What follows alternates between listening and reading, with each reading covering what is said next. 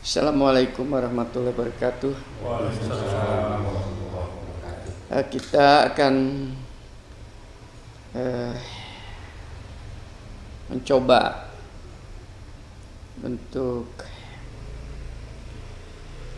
eh, melakukan perenungan ya malam hari ini anaknya untuk melakukan perenungan pendalaman dan eh, evaluasi.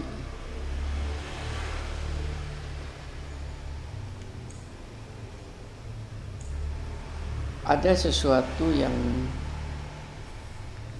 perlu dijadikan dasar di dalam kita menjalankan kehidupan atau mengisi usia yang diberikan oleh Tuhan ini supaya betul-betul mempunyai nilai yang tinggi baik dalam pandangan makhluk khususnya manusia dan tentunya adalah ilahi itu sendiri ya. Nah kalau di dalam konteks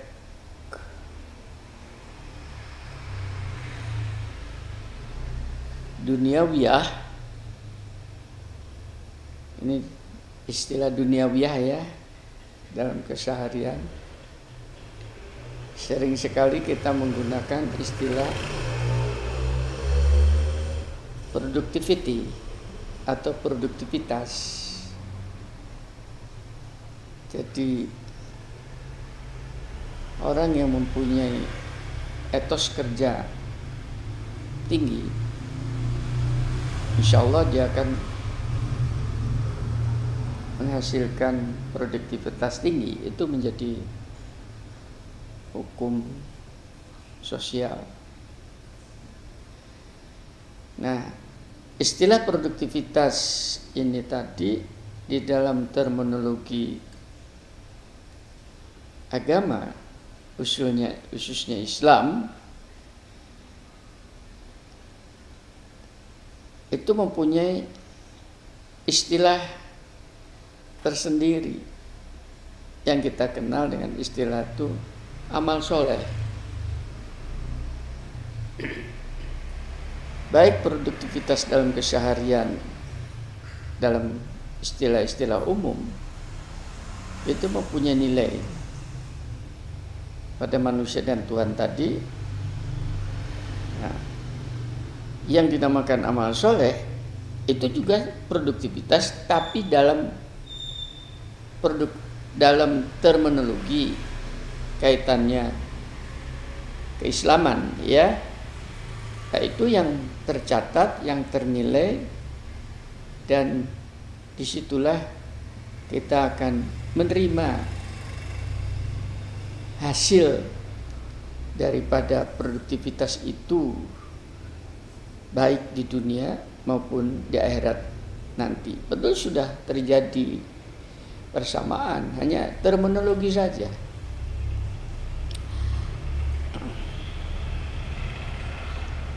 Kalau itu yang dinamakan eh, pandangan kita sebagai sebuah eh, penilaian terhadap kemanusiaan kita maka dasarnya adalah pada dua hal. Yang pertama kita sebut sejauh mana efisiensi kita di dalam menghasilkan produktivitas dan setingkat setinggi mana efektivitas kita di dalam menuju hasil itu tadi. Dua terminologi antara efisien dan efektif. Efisien itu menyangkut masalah waktu Kita sering sekali dalam hidup tidak efisien. Nah, kalau anda percaya coba dari pagi sampai sore evaluasi. Sedangkan yang dinamakan efektif menyangkut produknya itu tadi produk yang dihasilkan. Ya, dua-duanya ini menjadi sebuah kesatuan. Kalau kita ini hidupnya efisien, pasti produktivitasnya tinggi. Ngerti nggak? Tapi kalau kita itu tidak efisien di dalam memanfaatkan waktu, produktivitasnya rendah. Dengan demikian sudah bisa dilihat bahwa yang bersangkutan ya tidak dapat apa-apa. Panennya itu tergantung dirinya sendiri. Itu.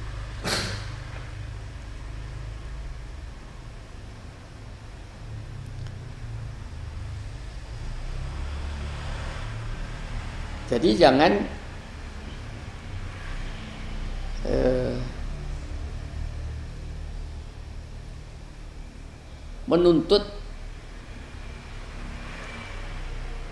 terlalu tinggi kepada ilahi, kepada Tuhan supaya kita mendapatkan pahala, mendapatkan uh, reward ya. Karena itu sudah menjadi hukum. Tahu hukum ya? Rumus. Kalau kamu efisien, efektif, sudah. Itu otomatis di bumi Tuhan ini kamu akan mendapatkan keberkahan Tuhan itu. Pengertiannya keberkahan kemudahan di dalam hidup.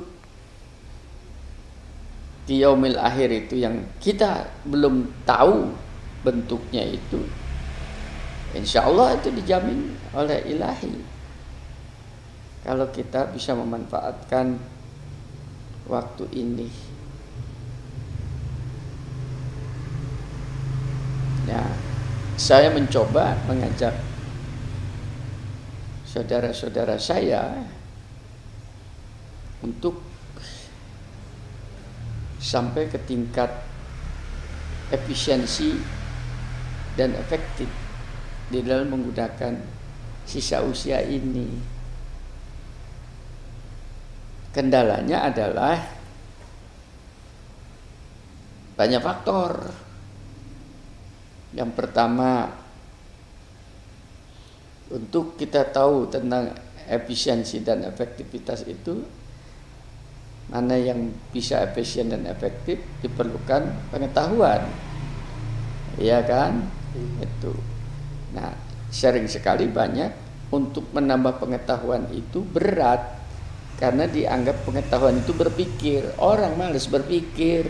Itu menjadi rumus 99% itu. Padahal isinya Quran itu berpikir. Iya afala takilun itu berarti disuruh berpikir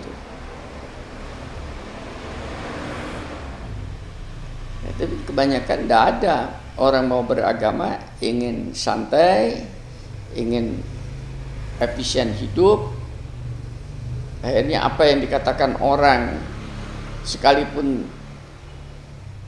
belum tentu benar karena dianggap itu adalah seakan-akan itu agama diikutin malah tidak efisien, tidak efektif karena akan masuk kepada ritus-ritus yang tidak menyebabkan tercapai sebagai produktivitas. Banyak di dalam masyarakat itu ya. Saya nggak tahu ini omongan saya ini agak agak teoritis untuk orang awam ya. Tapi memang esensinya seperti itu. Nah,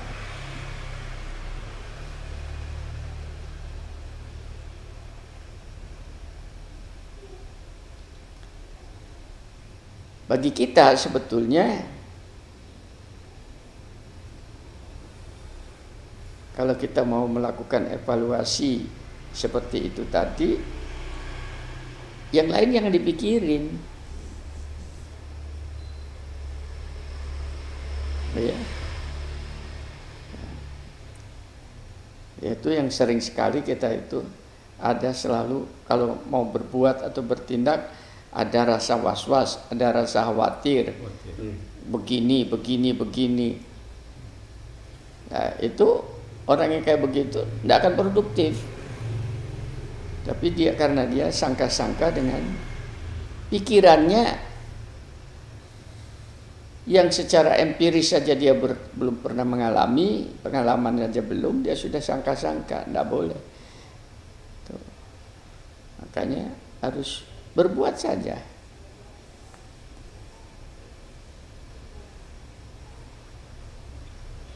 Itu harapan saya seperti itu.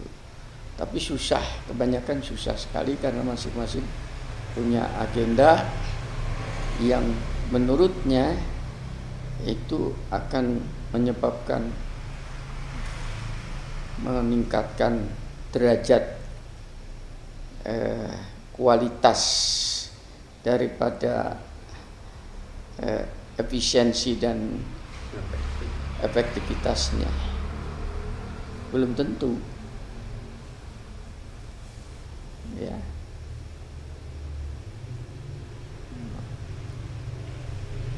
Dalam kenyataan di dalam masyarakat setelah akhir hayat baru dia sadar kan oh ternyata saya salah. Itu tadi. Contohnya adalah Fir'aun. Setelah mau tenggelam sadar tapi kan tidak bisa berbuat apa-apa. Kesadaran yang sudah terlambat. Al-Quran ini mengingatkan kepada manusia kepada ketika ketingkat kesadaran yang belum terlambat.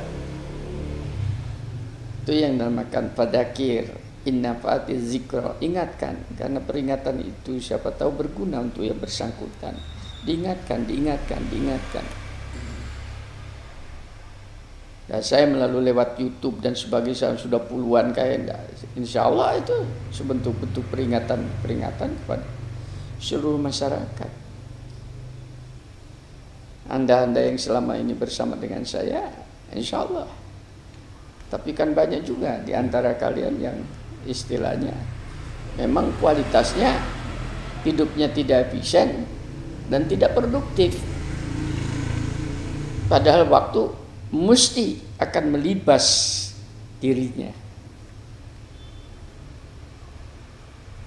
Bisa saja itu masalah-masalah yang menyebabkan kayak begitu, kurangnya pengetahuan, terus faktor keluarga, iya, itu khususnya istri anak itu bisa melibas makanya Quran yang menyebutkan hati-hatilah istri dan anak kamu. Ada di antara mereka tuh yang jadi musuh-musuh bagi kamu. Lah ini berarti alarm kepada kita. Musuh pengertian musuh itu bukan kemudian dia nyakari. Bukan. Musuh itu adalah setiap kita mau menghasilkan produktivitas hidup efisien di jalan Tuhan itu tadi ada saja alasan-alasan untuk mereduksi. Misalnya saja antar kenduren, antar ini. Walaupun saya tahu bahwa itu pun penting di dalam bersosialisasi. Tapi sekarang masalahnya apalagi minta antar shopping dan sebagainya mana? Itu kan hanya masalah manajemen waktu iya kan dan kajian-kajian seperti ini kan tidak setiap saat tidak setiap hari ya. nah ini namanya bagaimana supaya eh, hidup efisien dan efektif itu menjadi pola kita. terus terang aja.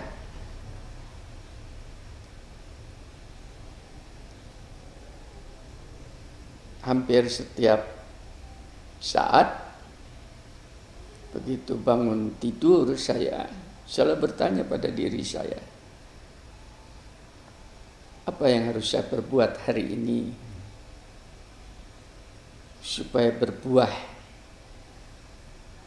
efisiensi dan efektivitas karena belum tentu usia saya sampai hari esok. Kan begitu ya? Nah, itu yang harus dipertanyakan. Nah, masalahnya sekarang adalah sering sekali dalam satu waktu yang bersamaan ada dua, tiga atau bahkan lebih suatu kegiatan yang harus dilaksanakan dalam waktu tersebut. Nah, berarti kan harus memilih. Nah, untuk pilihan itu tadi memerlukan sebuah pengetahuan.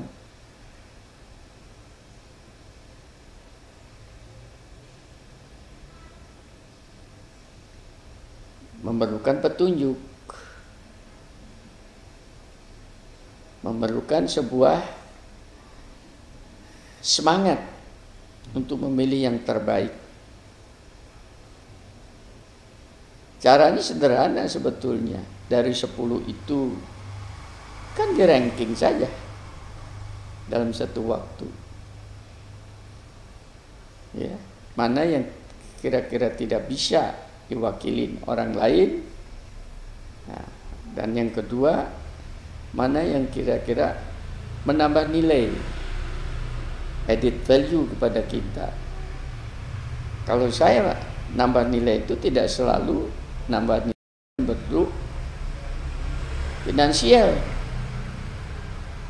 karena sebesar-besar finansial itu setinggi apa pun akan habis.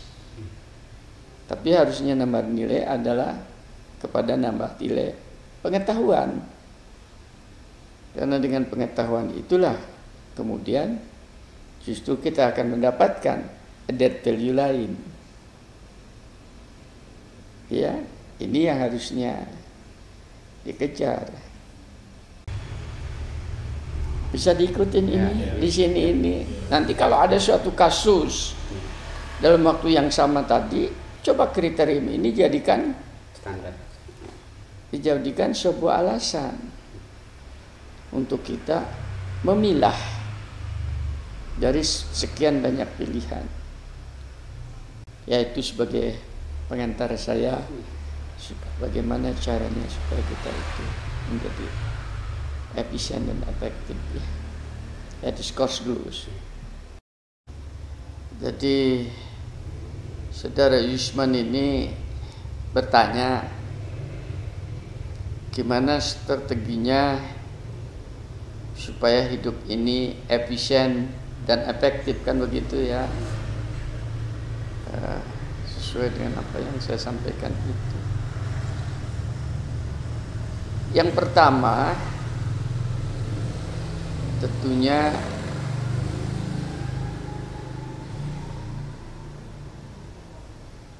dipahami dulu berarti pengetahuan ya ini dipahami dulu dengan penuh kesadaran bahwasanya waktu yang kita jalani dari hari ke hari itu tidak akan pernah terulang. Hari Sabtu sekarang malam Minggu dengan Sabtu malam Minggu yang akan datang atau Sabtu malam Minggu yang lalu sekalipun jamnya harinya sama itu nilainya berbeda di dalam memanfaatkan untuk menjadi efisien dan efektif itu tadi. Bisa tidak efisien, bisa tidak efektif. Itu disatari dulu.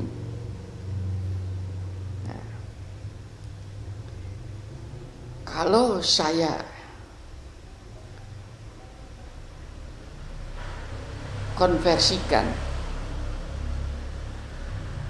waktu karena manusia itu paling gampang paling tertarik kalau diversikan kepada materi. Paham ya? Kalau saya konversikan saat ini kita diskusi katakanlah satu jam atau dua jam diskusi ini ya diporkeskan dalam bentuk materi. Itu tadi. Misalnya seberat gunung Arjuno emas. Emas seberat gunung Arjuno kalau dikonversikan itu bisa diikutin itu ya, ya. Gitu. waktu yang kita jalani saat ini tadi kalau itu di dalam nilai untuk efisiensi dan efektivitas hidup itu tidak ada apa-apanya. Gunung Arjuno yang berupa emas tadi itu tidak ada apa-apanya.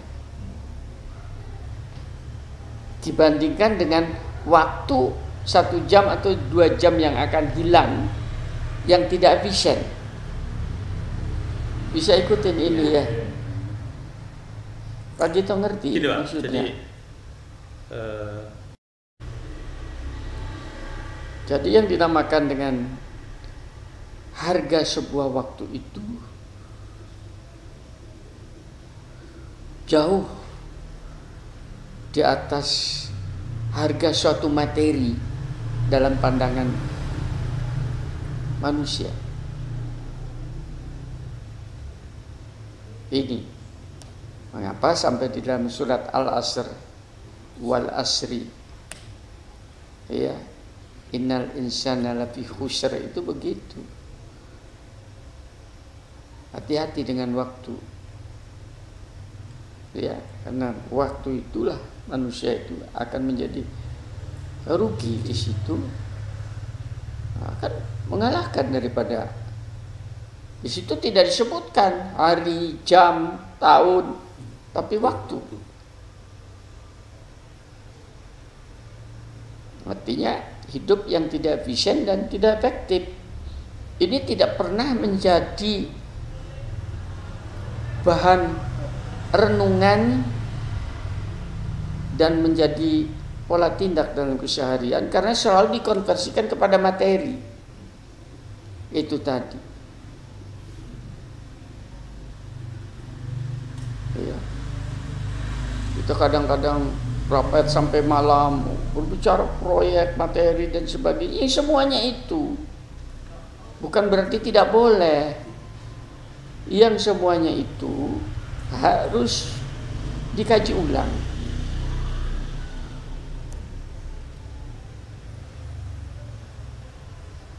Ya, itu memberikan manfaat efisiensi, efektivitas enggak? Dengan bahasa agama disebut menjadi sebuah amal soleh enggak? Produktivitas enggak? Itu yang harus dikaji di situ itu.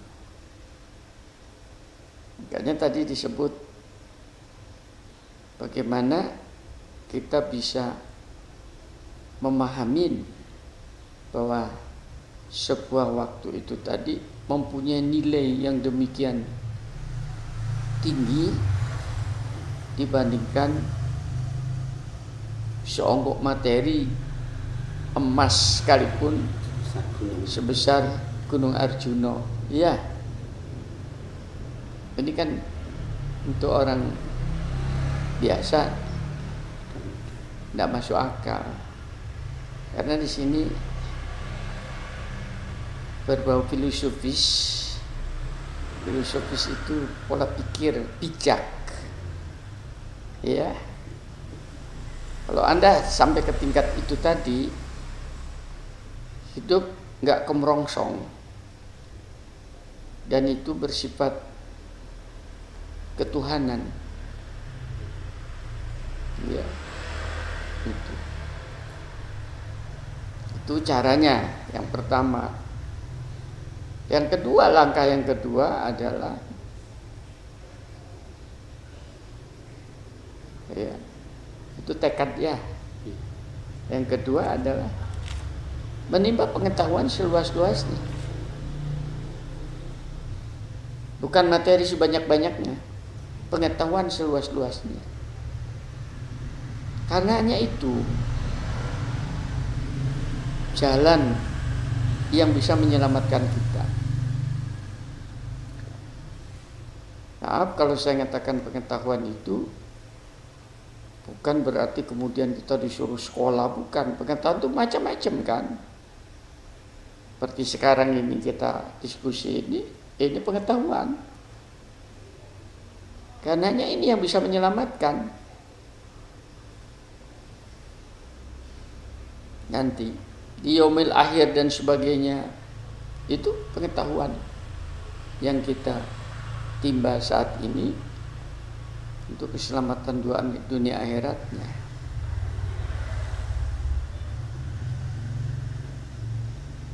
Oh, itu harus menjadi rujukan ya. Kemudian yang ketiga, ya merubah sikap. Ada keinginan yang tadinya aras-arasan ya menjadi naiklah tingkatnya karena kita di berusia harusnya semakin tua kan semakin di berusia bukan tambah malas akan tetapi justru tambah semangat untuk mengisi waktu itu tadi. Ya kalau tadinya satu persen naik jadi lima persen, sepuluh persen bertahap, ya. Itu tadi sambil meminta kekuatan kepada Tuhan itu tadi. Kesabaran. Karena namanya pengetahuan itu melebihi luasnya samudra yang kita tidak tahu ujung pangkalnya dijalani saja. Nah itu cara penyelamatannya begitu Mas Yusman tadi. Itu kondisi kepada internal pribadi kita ya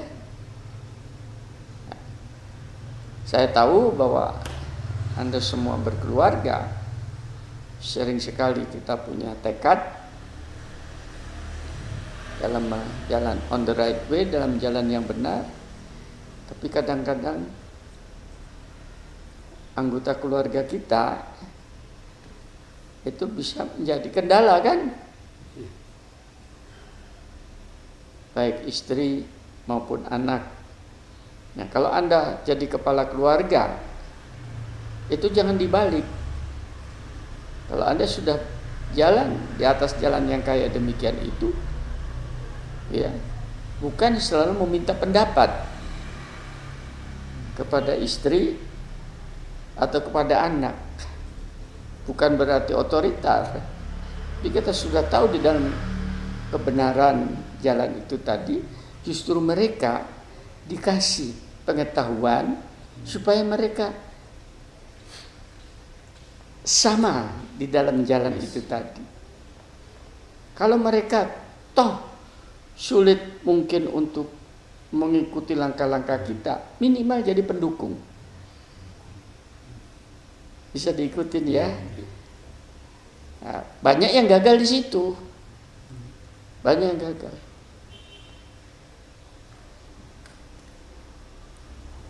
Contohnya ya itu.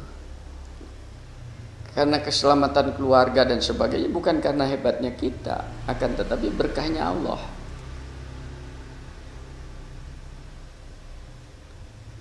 Gimana menempatkan ini tadi?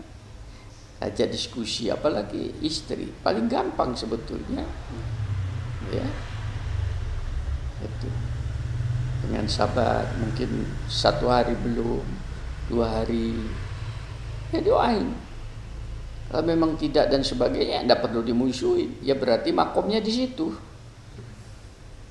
ya sudah kita tempatkan dia sebagai istri kita sehingga mungkin minimal bisa menjaga harta yang kita tinggalkan dan sebagainya. Ya sudah tinggal. Ya pertanyaan Pak Budi ini berhubungan dengan ilmu tadi itu uh, supaya bagaimana bahwa ilmu yang kita pilih itu menjadi amal kesolehan dan hidup menjadi efisien dan efektif yeah, kan begitu yeah, tujuannya yeah. kayak demikian itu. Pada dasarnya seluruh pengetahuan itu mengarahnya kepada amal kesolehan yaitu menjadi hidup efisien dan efektif kecuali uh, ilmu yang di dalam Quran atau agama Islam disebut sihir. Ya, pengetahuan sihir itu dah. Sihir itu pengertiannya bukan kayak mak lampir dan bukan kayak begitu ya. ya. Kemudian apa tenung ya bahwa itu bagian daripada itu oke. Okay.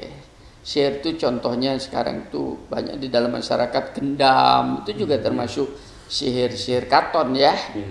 Hmm, contohnya yang kemarin itu membuat koperasi hmm. bodong dan sebagainya ya sampai lah itu kan bentuk-bentuk sihir masuk di dalam HP-HP juga banyak yeah. sihir-sihir kamu dapat hadiah ini yeah. ya. Nah itu itu. Nah, ilmu-ilmu kayak begitu itu kan juga pengetahuan. Yeah. pengetahuan menggunakan perangkat-perangkat modern. Ya nah, pengetahuan-pengetahuan yang kayak demikian Ya, jangan dipelajarin. Sekedar tahu. Karena khawatir sebetulnya kalau pelajarin dalam pengertian bahwa saya tidak hanya sebagai protek supaya saya tidak kena gendam, tidak ada masalah. Tapi yang jadi masalah apakah kamu tahan dah untuk tidak menggendam? Ya. Itu. Ngerti nggak? itu kan pernah di TV itu lihat di mana itu di Italia atau gimana ilmu nyopet ya kemudian orang Amerika datang gimana? Para copet jam diginikan hilang cincin diginikan hilang. Ternyata caranya begini dipraktekkan benar. Bisa. Ya bisa dilakukan. Karena itu pada dasarnya hanya menggunakan sepakan sepersekian detik untuk mengalihkan perhatian orang. Ya, itu tadi. Dengan teknik-teknik keterampilan tertentu. Nah, untuk kita untuk apa? Gitu loh Pak Budi yang kayak begitu itu. Iya. Nah, ini tidak bermanfaat maksudnya pengetahuan. Tapi pengetahuan-pengetahuan yang lain apakah itu menyangkut masalah perdagangan, masalah sekarang itu apa namanya tentang perbankan, ya, tentang politik, tentang hukum, ya kalau dalam bidang-bidang sosial itu tadi tentang dinamika eh, perpolitikan dunia itu bermanfaat untuk kita. Ada manfaatan. Dalam pengertian kita akan semakin luas pengetahuannya itu tadi sehingga kita bisa mudah memberikan solusi apabila minimal untuk diri dan keluarga syukur-syukur ada saudara-saudara kita punya kesulitan sehingga kita bisa memberikan solusi Makanya innamal a'malu binnia itu di situ. Tergantung kamu belajar itu untuk apa. Ya. Di dalam kampus saya kira tidak ada itu yang tidak bermanfaat semuanya bermanfaat. Ilmu mendidik, mengajar, makanya jangan sungkan-sungkan uh, kepada para mahasiswa kira-kira menurut standarisasi pendidikan kurang benar, ditegur. Diluruskan. Itu pengetahuan-pengetahuan kayak demikian. Nah, kalau ini yang ditimba, maka sumber pengetahuan begitu banyak. Nah, kalau di dalam pengetahuan yang namanya sains, ini juga kewalahan kita. Ilmu tanaman saja gak selesai-selesai. Belajar ilmu tanah aja macam-macam. ya tentang hama penyakit dalam bidang saya macam-macam tentang tanaman loh itu ya belum lagi berbicara tentang agrokomplek.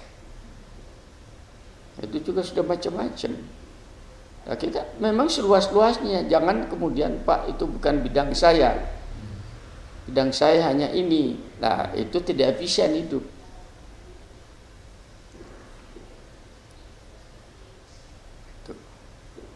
Karena dengan pengetahuan yang banyak itu tadi kita akan mempunyai nilai guna yang lebih tinggi untuk masyarakat. Belum lagi pengetahuan yang diinformasikan lewat wahyu Al-Quran itu tadi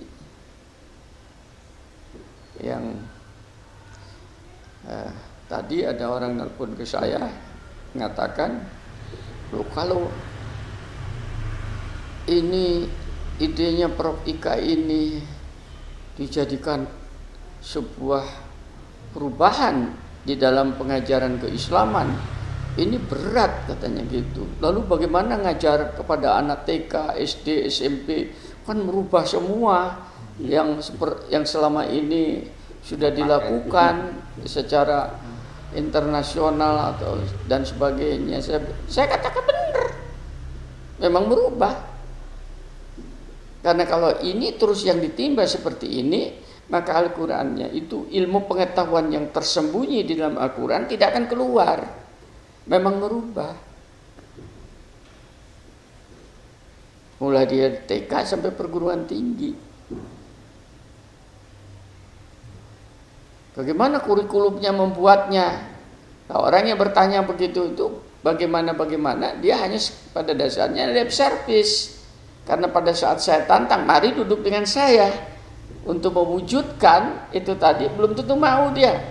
Karena ngitungnya duit, kasih berapa saya. Kan gitu ya. Padahal ini adalah investasi amal soleh itu tadi bukan untuk kita tapi untuk generasi, generasi yang akan datang itu maksudnya jadi banyak yang belum kita lakukan di dalam kehidupan ini Sementara apa yang kita dapat itu tanpa ngoyo pun. Ya sudah itu jatah kita itu segitu. Mau diapakan lagi? Tidak akan lebih kaya, tidak lebih miskin. Ya segitu itu sudah. Ini analisis saya loh ya. Saya analisis itu karena dari pengalaman hidup, dari pergaulan, dari pengetahuan yang saya timba ya dan sebagainya itu tadi. Memang kondisinya kayak begitu.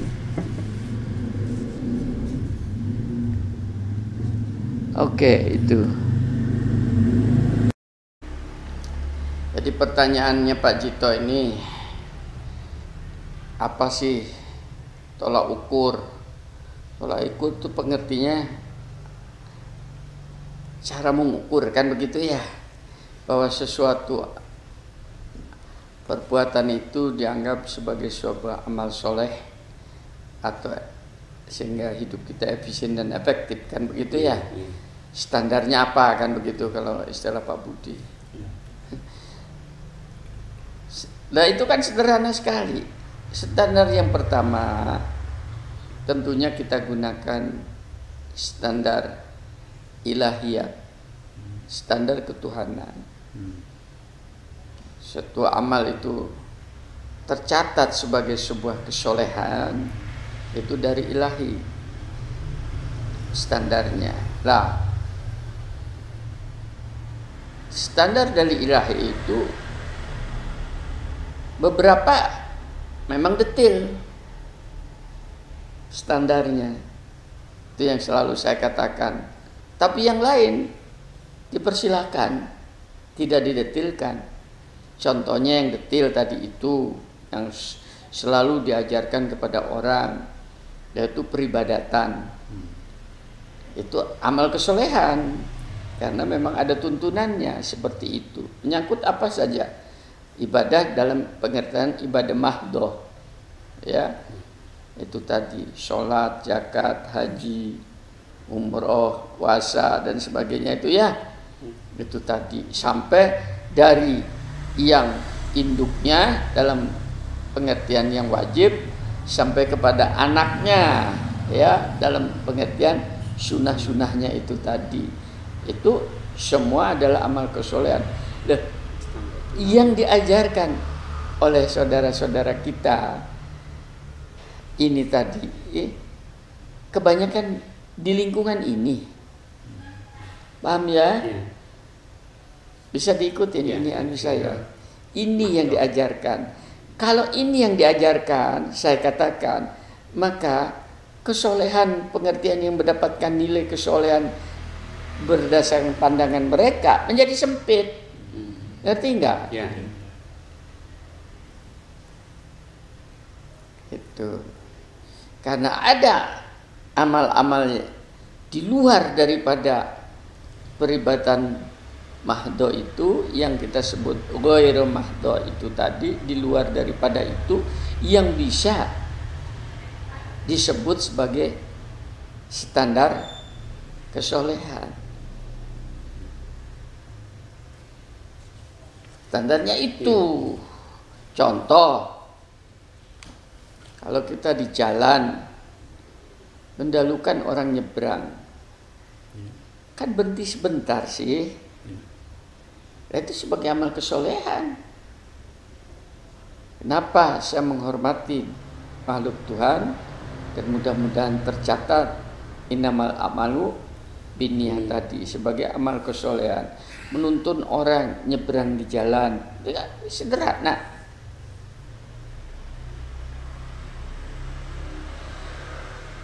Nggak perlu saya ajari ini saya kira ini pelajaran TK ya. Banyak yang bisa dilakukan tadi itu. Jadi apa yang mau dibingungkan? Berbuat saja.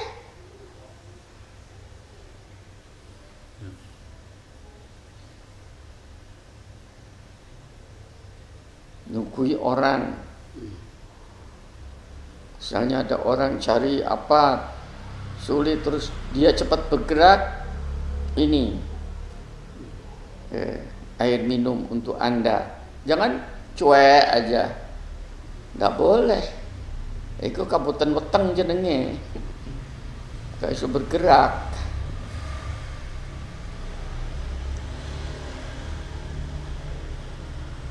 Standar apa? Itu kan tidak perlu dipikirkan itu dilakukan.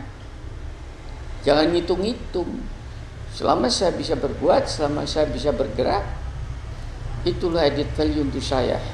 Bukan untuk mereka, tapi untuk diri saya.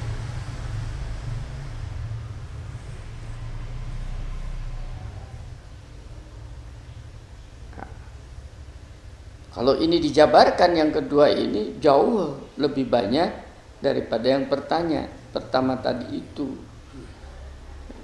yang berbau ritual itu sedikit. Tapi yang kedua ini banyak. Tapi yang kedua ini terus terang saja. Kedodoran umat Islam ini di dalam memahami bahwa itu adalah sebuah kesolehan. Ini yang menyebabkan kemudian jadi hidupnya susah. Ya masyarakat jadi kacau karena dikiranya amal peribadatan itu hanya hubungannya langsung kepada Allah.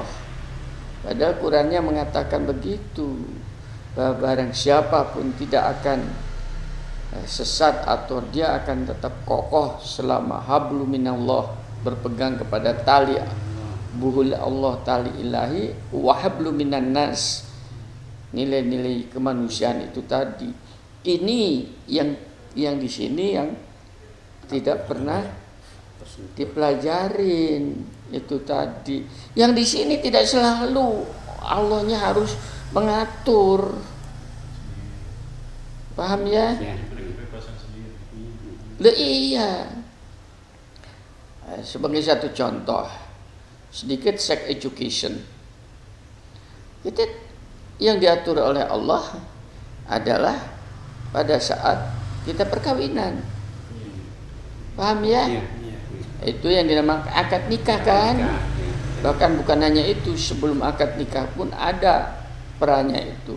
Dia sudah dilamar orang atau belum? Iya. Kalau sudah dilamar orang, tidak boleh kita nerombol. Iya. Sampai kayak begitu. Etikanya Islam. Dia beri kesempatan orang lain. Sekalipun, sekalipun hati kita kemerongsong. Ya. Bagi mereka yang sudah memegang prinsip itu, dia akan berperan. Kalau dia jodoh saya, tidak akan lari. Paham ya? Iya. Nah, tapi kalau orang yang tidak berpikir, wah saya, nah itu hawa nafsu, ngerti tidak? Iya. Sama-sama amal Iya. untuk mendapatkannya. Yang satu berdasarkan standar ilahi, yang satunya berdasarkan standar hawa nafsu. Bisa diikutin Iya. itu. Iya. Setelah perkawinan, kemudian hubungan suami istri bahwa bagaimana silahkan, kan tidak diatur. Iya. Masa Allah mengatur kayak begitu itu? Ru dewe lah, kan begitu ya. Hanya yang diatur di situ tuh kalau kamu habis berhubungan di situ ada namanya mandi janabat. Paham ya? Bahkan sedikit hanya diatur pada saat kita mau melakukan hubungan itu tadi ada doanya meminta. Tapi doa itu sebetulnya hanya edukatif supaya kita itu Terbimbing. terbimbing dalam pengertian karena Allah itu adalah zat makanya dikatakan pendidik. Iya. Allah itu pendidik makanya dikatakan Rob Robbi. Ya tarbiyah kan pendidikan. Diambil dari kata tarbiyah pendidikan Rob. Itu pendidik dididik kita oleh Allah kalau mau berhubungan dengan suami istri itu ono dungone Nah, ini yang diajarkan oleh orang doa ini, ini doa ini, tapi memaknai daripada doa ini yang kemudian menjadi berat.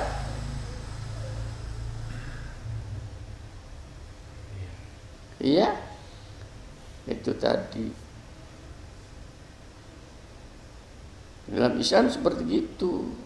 Koridornya hanya itu mandi janabat. Mandi janabat caranya dulu kita di Mekah sudah diajarin karena itu termasuk mandi besar kan. Tata caranya berbeda dengan mandi Biasa. yang biasa itu tadi. Waktu umrah ya di, di Madinah ya, kan di Mekah ya waktu kita akan melakukan apa ikhram ya Iya. eh, di di mana? Bir Ali ya mandi dulu pakaian ikhram. Nah itu beberapa hal tidak diatur. Caranya silahkan bisa diikutin ya. Makanya kan percintaannya orang Barat dengan percintaannya orang Timur berbeda. Orang Cina dengan orang Arab berbeda. Lalu apa diatur sampai detail? Iya. Pasti beda. Iya kan?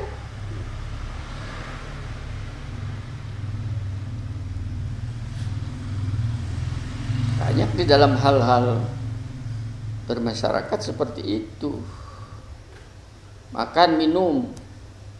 Yang diatur kan di dalam agama ini.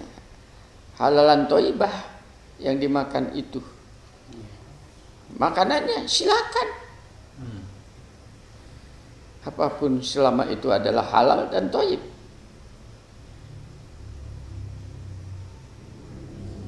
Selesai. Bahwa di dalam makan itu ada etika-etika yang diberikan oleh Allah. Itu sebagai sebuah pendidikan. Supaya kita mempunyai pemahaman yang lebih mendalam. Bahwa yang namanya makanan itu ada nilainya. Bukan hanya untuk dirinya sendiri tapi untuk orang lain. Saya ngajari ngajar eh, menghubungkan antara edit value yang diajarkan oleh Allah kenapa di dalam kita makan sampai berdoa? Ini kan amal soleh. Paham ya? Berhubungan dengan suami istri kan amal soleh. Makan itu amal soleh.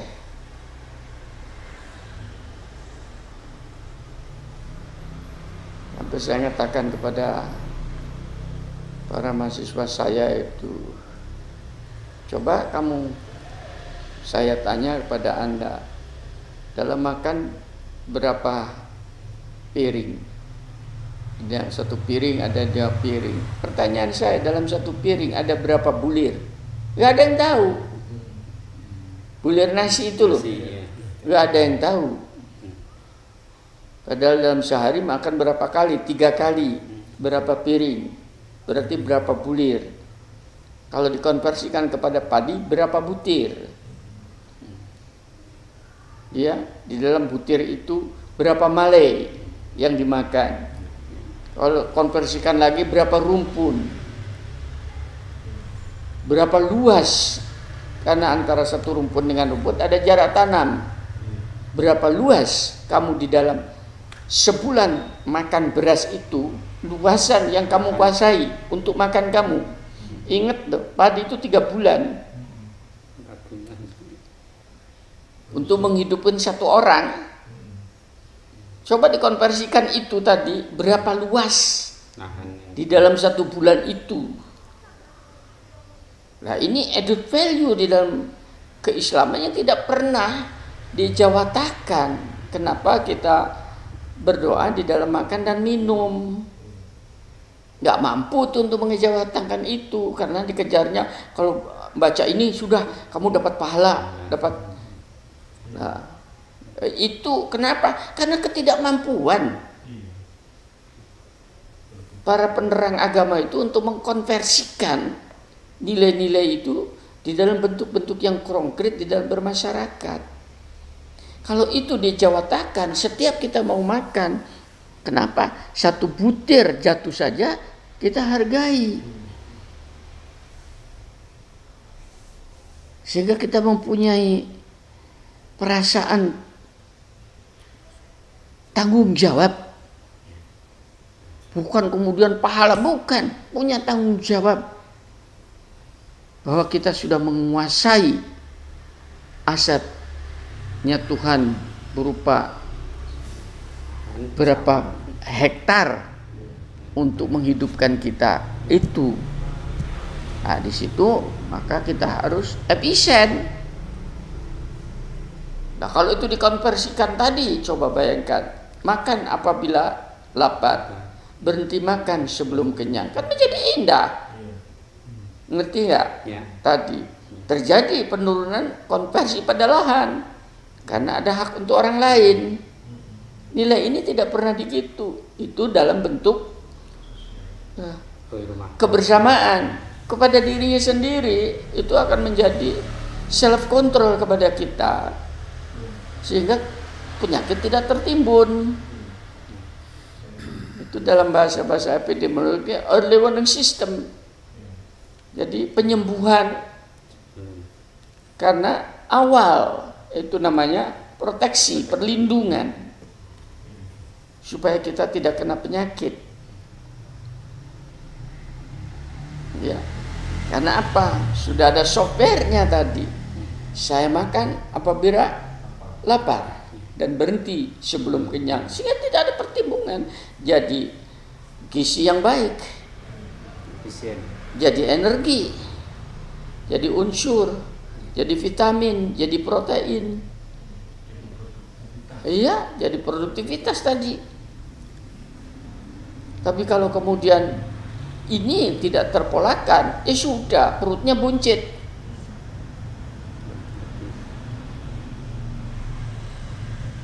Loh, ini kan konversikan ini kan sederhana sebetulnya ya tidak terbiasa ya. Saya ngajak terus terang saudara-saudara itu cerdas lah ya. Karena Quran itu ngajak eh, mereka yang mengambil Quran sebagai rujukan hidup siapa saja itu. Loh, saya beritahu insya Allah nanti pada suatu waktu Al-Quran itu akan dijadikan rujukan hidup oleh orang yang non muslim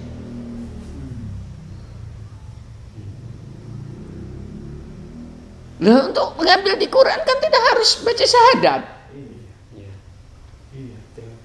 Terbuka. Terbuka siapa saja.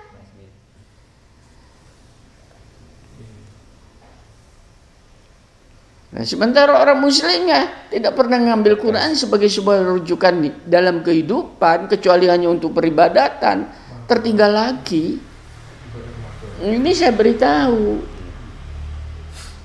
supaya polanya tidak seperti ini. Iya. Banyak kita yang kita lakukan.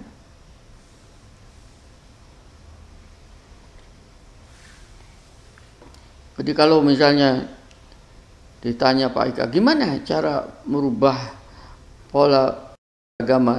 Ya kalau dalam pendidikan kurikulumnya diganti dong, tidak seperti itu. Ya. Di dalam bermasyarakat pola tindaknya dirubah, tidak seperti apa yang ada terjadi ini. Nah, itu jangan dipikirin gimana standarnya Pak dulu. Begitu tanya standar setiap tindakan ini masuk standar atau enggak. Padahal berubah. Maaf ya. Iya. Masuk WC. Buang hajat. Iya. Buang kencil. Amal soleh enggak itu?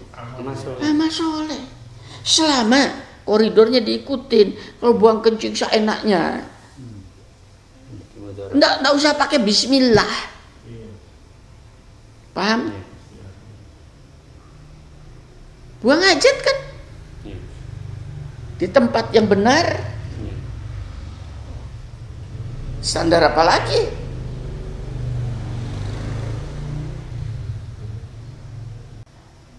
Memang dia yang diajarkan oleh teman-teman itu tadi kebanyakan masuk WC kaki kiri, keluar WC anu kanan dan seterusnya. Iya. Iya, itu Itu aja. semacam untuk saya nilainya itu adalah etika.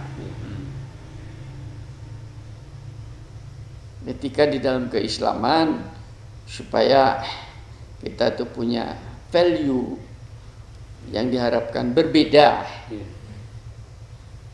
dengan orang lain. Seandainya masuk kanan dulu keluar kiri, tidak masalah. Untuk saya lo ya, untuk sama-sama buang hajat. Tapi ada edit value, tahu edit value Ya. nilai tambah.